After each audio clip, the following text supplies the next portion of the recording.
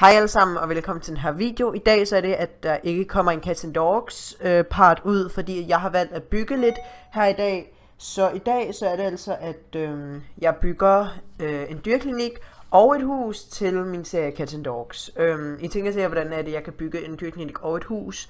Det er fordi, at jeg har valgt at sætte de to ting sammen, altså at man kan bo ved dyrklinikken. Det kan jeg også se senere hen i videoen, men den her video bliver, bliver bare meget hurtig.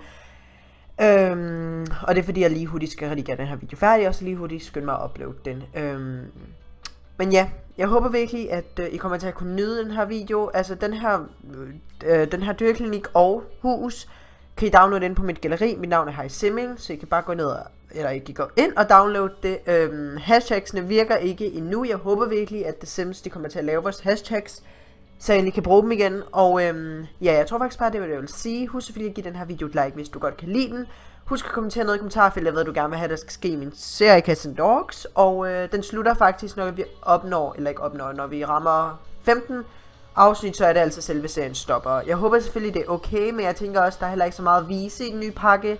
Altså gameplay, fordi I kan også godt se Harpers liv, fordi der er der også lidt gameplay og sådan eller der er der meget gameplay, men der har vi også sådan hunde og katte, så I kan sådan også se Harpers liv, hvis det er, I har lyst til det. Men i hvert fald, det var det, jeg vil sige i den her video, og så må I faktisk bare have en pissefed dag, og ses vi. Hej hej!